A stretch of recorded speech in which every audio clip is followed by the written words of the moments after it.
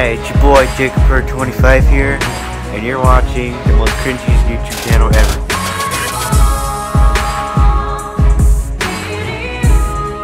What up, it's your boy JacobHer25 here, back from another video, and um, today we're gonna be going through how to get perfect paradox. A lot of people have been saying you can only get this from season of season of dawn. Yeah, there you go. But people have lied.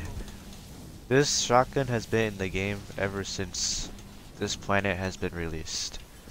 And you can get this shotgun by completing this guy's prophecies.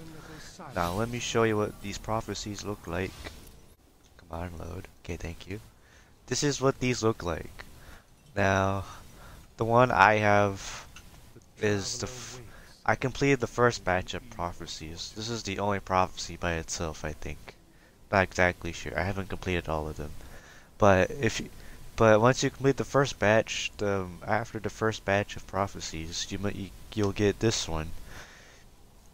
And this one is key to getting the perfect paradox, as as you can see. The one the speaker loved them best must have a perfect paradox. Right there. It, it mentions it mentions perfect paradox already. Now once you complete this, I think you get perfect paradox, but to um, turn in these prophecies, you must turn it into him and forge the weapons that are inside the prophecy boxes. And now I'm gonna be going to play the mission you're supposed to complete when you get this prophecy. This one last and one prophecy. It's faint, but it's definitely Alright, so let's get into this. Vex. Thousands of them. Is that a tomb, or is that what they use to protect? It's gone. Oh yeah, it is a Rest tomb. in peace, my friend. Osiris, I'm so sorry. I... I think we should leave him here. It looks like the Infinite Forest laid him to rest. Built him a memorial.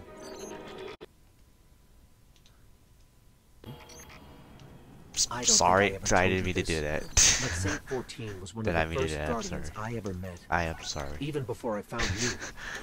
Did not I mean to like do that to you out like guys. Like skip like I wasn't a disappointed. proportion You were a of good friend, Saint. a cutscene. Goodbye. Well, it's not really a cutscene. It was just the ghost talking. Sorry, sorry. That encryption pattern.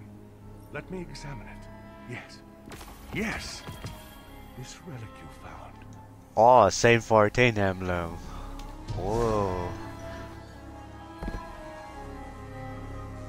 Forge weapon.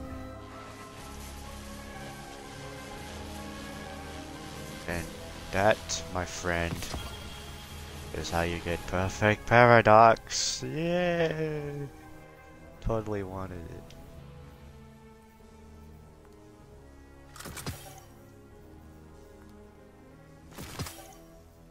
Yeah.